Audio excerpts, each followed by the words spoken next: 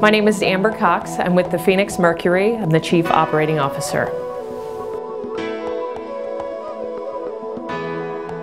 You know, One Community uh, has been a great partnership for us. It made perfect sense with the various nonprofits and the businesses, you know, to really get involved and jump in with both feet and uh, really go along for the ride. And it's been fantastic for us.